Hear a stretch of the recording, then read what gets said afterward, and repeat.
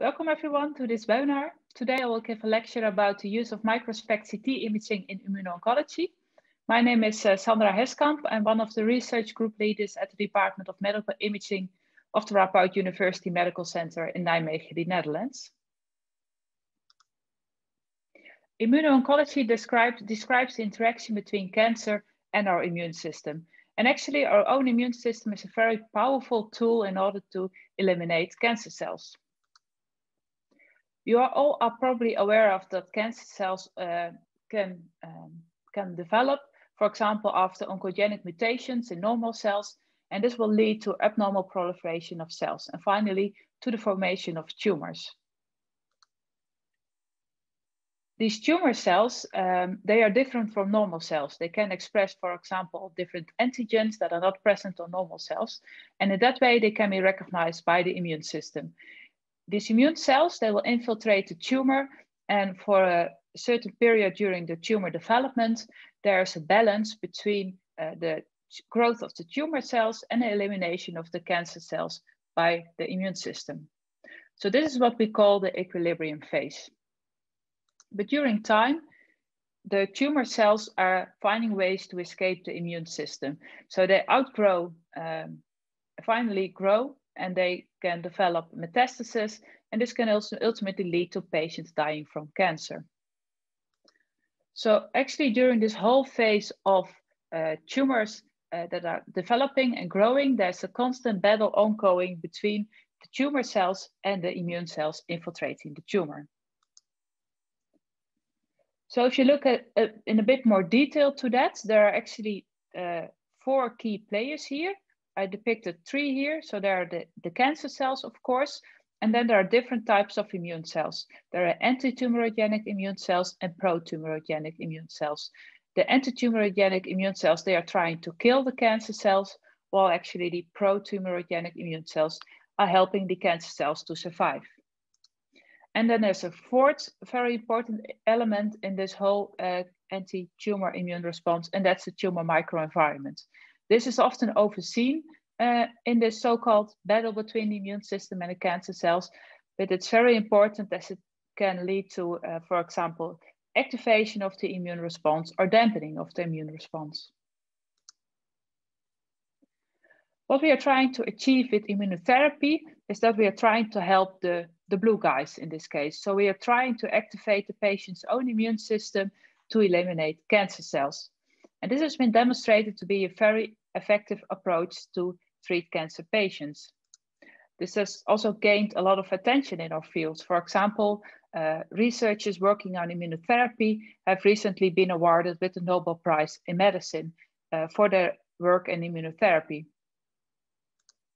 And this also leads to the development of a huge amount of new immuno-oncological drugs. As you can see from this picture, and it's, it's just a, a global image, you don't have to understand all the details, but you can see there are numerous of drugs in the pipeline, uh, all aimed at being used in patients with cancer in order to treat them. There are many different type of drugs, uh, ranging from antibodies, vaccines, cell-based therapies, etc. One thing is that all these drugs have in common is that it's um, that we don't always know uh, which patient will benefit from, from which drug. So we have a lot of drugs, but we don't know their precise working mechanisms in many cases. And uh, that faces us with a big challenge because how uh, will we ever be able to get all these drugs into clinical practice in order to treat our patients? So in order to use these, these drugs in an effective and a safe and also an affordable way, there's an urgent clinical need for better ways to select patients for these drugs. Also for ways for early response monitoring so that we, we can already early after start of treatment can decide whether we have to continue treatment or switch to something alternative.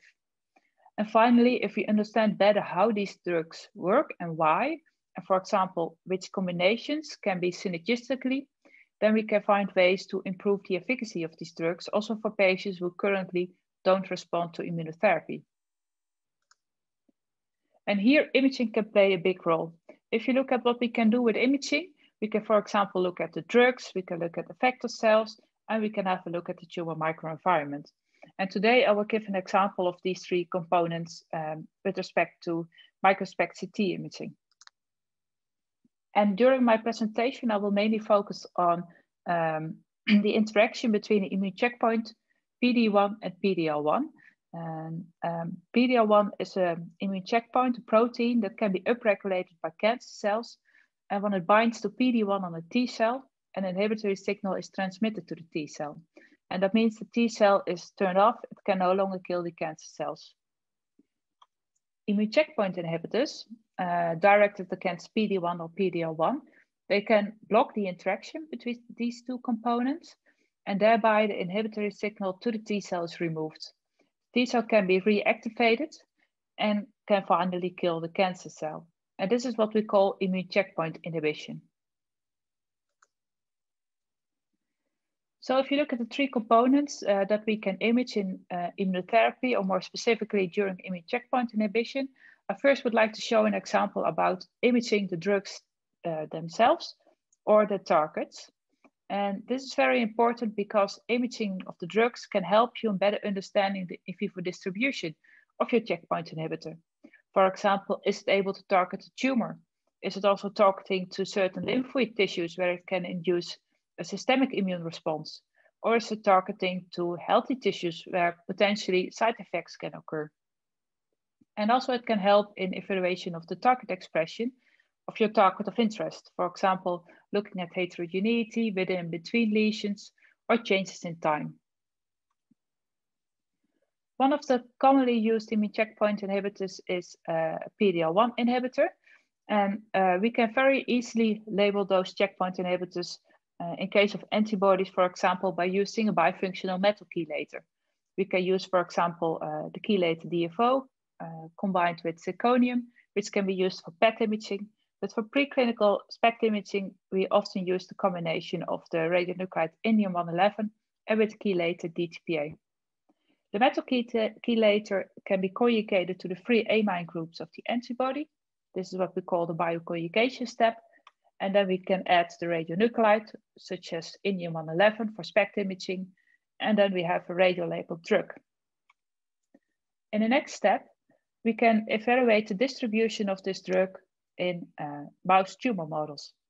In case of immuno-oncology, we often use uh, syngeneic murine tumor models. That means that we use mice with a fully intact immune system. So we're also able to study the distribution of the drug towards lymphoid tissues. And the mice are often inoculated with uh, a murine tumor cell line. And we can evaluate the distribution of this drug with, uh, microspect CT imaging, such as the USPECT system that we have available in Nijmegen. This is an example of uh, a PD-L1 SPECT CT scan uh, that was acquired in our group. You can see there's high accumulation of the radio-labeled antibody in, this, in the tumor. Um, this, is a, this is an example of a PD-L1 scan. So this antibody binds PD-L1. And you can also see in immunohistochemistry that indeed tumor cells express high levels of PD-L1 on the tumor cell membrane. But what's interesting, if you look at this drug, is that you don't only see targeting in the tumor. You can also see that the uh, antibody targets, for example, towards the spleen and the lymph nodes. And it is well known that these uh, lymphoid tissues contain high number of uh, immune cells that also express PD-L1. But we can also see that there are certain uh, normal tissues where the antibody also targets towards, for example, the duodenum and brown fat. And these are tissues where also subsets of cells express PD-L1. And, and all, not in all cases we precisely know the role of PD-L1, but what this example does nicely um, illustrate is that imaging of your drug can help in predicting the distribution of your drug in vivo. And uh, for example, here you can see that the drug is not only targeting PD-L1 in the tumor, but also in lymphoid tissues, where it might be also cause an immune response, but it could also be maybe toxic in other tissues as well. So this is very helpful if you are, developing a new drug and you want to know how it behaves in vivo. Next to drugs and the targets, we can also use uh, imaging to study the effector cells in the immune response. There are many different effector cells. Uh, as I said, some are pro-tumorigenic, others are anti-tumorigenic. And in our group, we are mainly interested at imaging the T cells because these are the main effector cells in the immune response. And with imaging, we can have a closer look at, for example, how many T cells are in the tumor, how are they distributed within or between the tumors, and uh, does it change in time? If you want to image T cells, there are different ways to track them. You can use, for example, uh, T cell targeting agents like antibodies or minibodies that target uh, towards T cell. Or you can use of an approach that we call ex vivo cell labeling. In this case, you isolate the cells, for example, from a patient or from a mouse. You can then label the T cells uh, via different approaches a commonly used approach also for clinical purposes using uh, indium oxide, for example. And then after radiolabeling the cells, you can transfuse them back in the patient or in the mouse, and then image the distribution and the targeting of your immune cells in vivo. Because of time today, I will only show an example of using a T cell targeting agent, and that is an antibody targeting PD-1 expressed by the T cells. Here you see an example of a PD-1 SPECT scan. Uh, again, you see targeting of the antibody in the tumor, some targeting to lymph nodes and to the thymus, where also PD-1 positive T cells are residing. We also took out the tumor and uh, stained tumor sections. And what you can see here is an autoradiography and a PD-1 uh, staining, where you can see there's nice colocalization of the um, radioactivity and the staining for PD-1. And it shows also that this imaging technique uh, can help you to look at heterogeneity, for example, in one tumor. A final example that I would look, like to show is imaging of the tumor microenvironment. And this is often overseen in immuno-oncology, but we know that all kind of factors in the microenvironment, like hypoxia, the presence of certain cytokines, growth factors, can have an influence on the immune response. It can be either stimulated or dampened.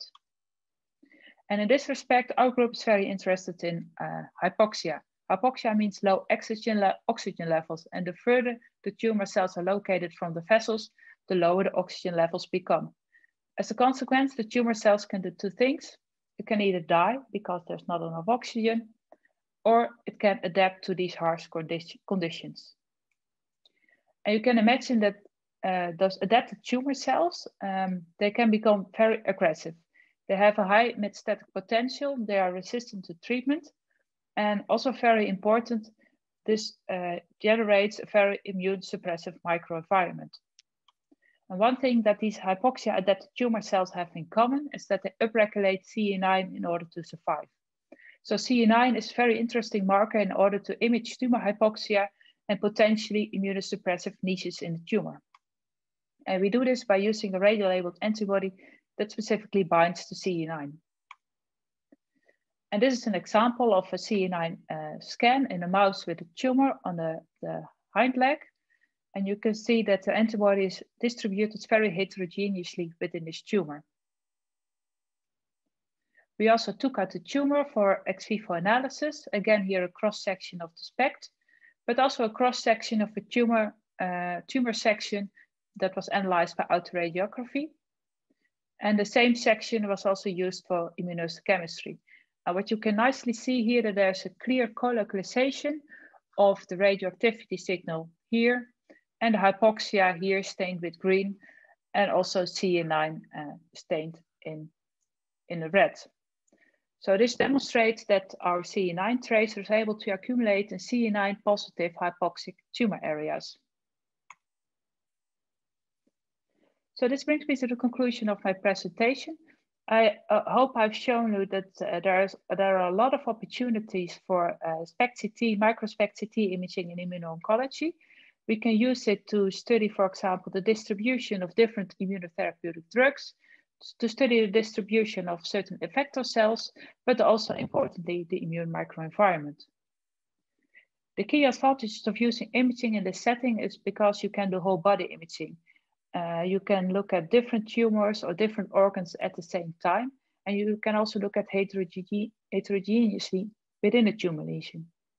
And you can use it, of course, to follow up dynamics in time. Ultimately, these tools can play an important role to answer questions in immuno-oncology, such as uh, who should we treat with immuno certain immunotherapeutic agent? When should we start treatment? And what are the main effector mechanisms in this drug? What kind of factors determine whether the tumor will respond or not? And are there also combination treatment available that can be uh, synergistically and thereby more effective? So ultimately, imaging can help us better to better understand the working mechanism of immunotherapy and also leading to more personalized and more effective immunotherapy for cancer patients. So with that, I would like to also thank, I'd like to end my presentation and thank the people from my group contributed to the work that I just showed you. But of course, I want to thank you for attending this webinar. And if there are questions about this presentation or this work, don't hesitate to send me an email and I'll be happy to answer your questions.